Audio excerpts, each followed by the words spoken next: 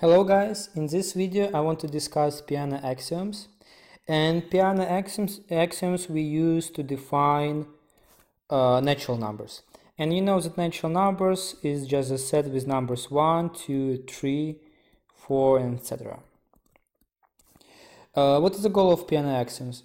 We know that uh, for natural numbers we have addition. For example you have 1 plus 2 equals to 3 so it means we're going to get two natural numbers, add them, and we're going to get number 3, which is also a natural number.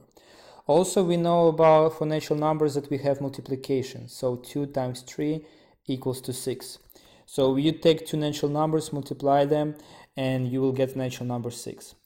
Uh, what kind of other properties do we know? We know if we have like 2 plus 3, it equals 3 plus 2 equals to 5.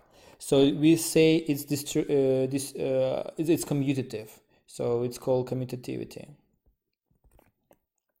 Also, we know if I'm going to add 1 plus 2 and then I'm going to add 3 or I'm going to add 1 uh, and 2 by 3 I'm going to add first and then I'm going to add 1 it's called associativity and, and etc and also we have for example another law we have distribution laws that uh, we have 2 times 3 plus 4 equals 2 times 3 plus 2 times 4. So we know all these laws, but can we figure out a couple of axioms from which we can deduce all these laws, from which we can deduce and define uh, the addition operation or define the multiplication? Um, uh, when we're to get commutativity, associativity, or distribution law. And what uh, Peano axioms provide, they actually provide such tool. So uh, what is the Peano axioms? Um, I'm to start with the first one. And the first one saying, let's denote n as our set. And in this set, we're to have an element 1, it's like kind of formal one, which is saying that 1 belongs to our n. So in other words, we're saying that our set n is non-empty. For second axiom, we have that there exists function uh, sigma from n to n. Oh, sorry. And the second one is that there exists a function sigma from n to n.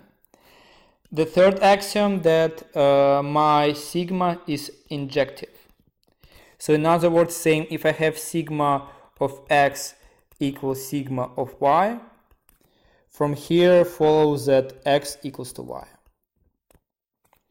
My fourth axiom saying that uh, there doesn't exist uh, any element n belongs to n such that uh, sigma of n equals to 1.